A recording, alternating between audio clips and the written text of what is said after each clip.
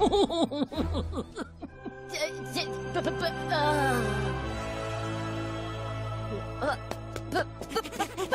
come in, come in! Look out!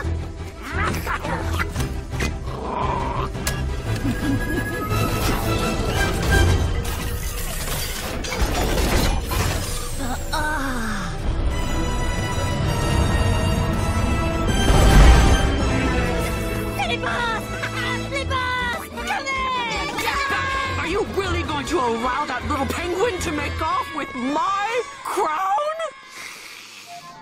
Oh, Herb. I'm done. For me?